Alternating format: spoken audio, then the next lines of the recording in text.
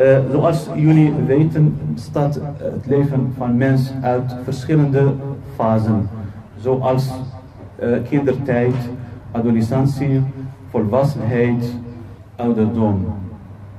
Er is een soort consensus onder de culturen en de beschavingen over eigenlijk deze fasering. zelfs de Koran verwijst naar deze fasering met name in de ayah 54, 54 uit uh, Surah Ar-Rom, de Romeinen, waarin Allah subhanahu wa ta'ala zegt, het is Allah die jullie in zwakte schept, de, na de zwakte kracht geeft en na de kracht weer zwakte een ouderdom.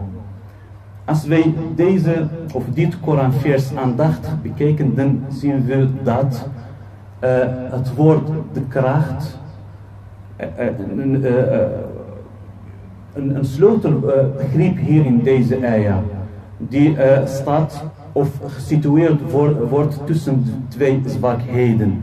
Zwakheid van mens, wanneer hij een kind is, de anderen en zijn ouders nodig heeft om verder te gaan met leven en om op te groeien. Daarna wordt hij sterker en volwassen. Na volwassenheid uh, begint een soort uh, countdown.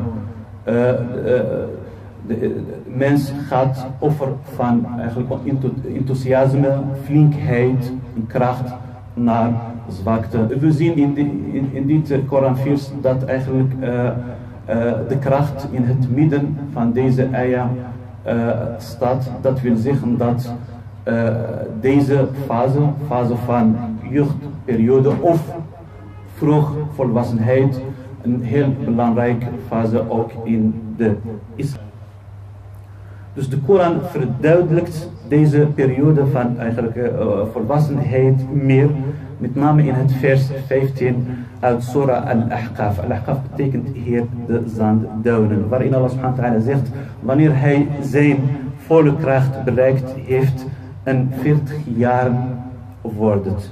Deze eigenlijk die verwijst naar de rijpheid bij mens.